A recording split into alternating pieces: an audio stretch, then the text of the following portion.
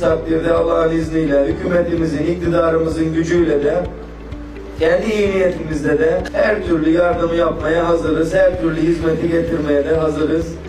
Liderlerimizin nezdinde oluşan Cumhur İttifakı'yla biz de bu seçime Adalet ve Kalkınma Partisi ile beraber Cumhur İttifakı çatısı altında Hasan Özbaşkanımızın adaylığıyla giriyoruz, hazırlanıyoruz. Hep birlikte ev ev, hane hane gezelim. İnşallah bu seçim sıfıra karşı bir oyla bu köyden çıkalım ve konuşalım.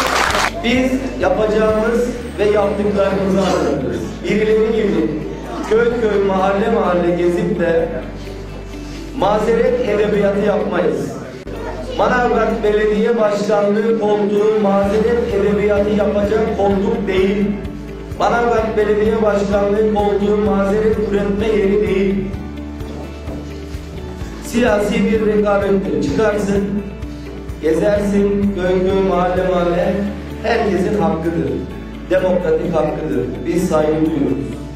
Ama her gittiğim yerde hükümet beni engelledi, büyükşehir yasası beni el- engelledi dersen işte burada çıkar sana büyükşehirin yaptıklarını sayar, sen de orada kalk kalırsın. Bir yere gittiğinde de bize Tarım Bakanlığı'na heveslenmiş diye bir cümle kurulmuş. Kardeşimizin Tarım Bakanlığı'na heveslenme gibi bir niyetimiz de yok, öyle bir isteğimiz de yok, haddimiz de değil. Bizim yolumuz belli, amacımız belli, çıktığımız yol belli.